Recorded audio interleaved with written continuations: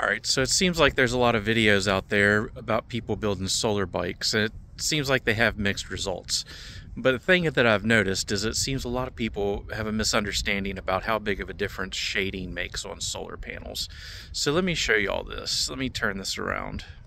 Okay, there's the solar bike. All right, let's go look and see how it's charging right now.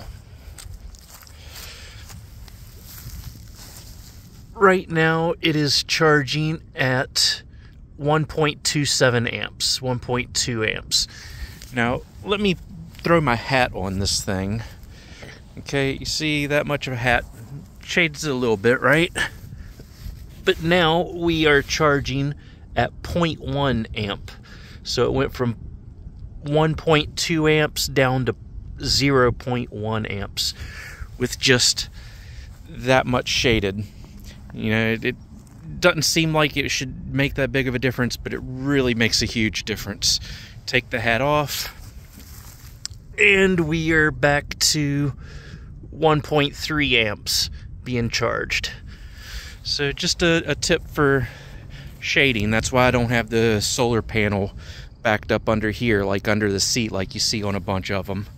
Because just having a little bit of shade on the from the seat or from a limb or from anything, it just cuts the solar charging to nothing. So anyway, there you go, another tip.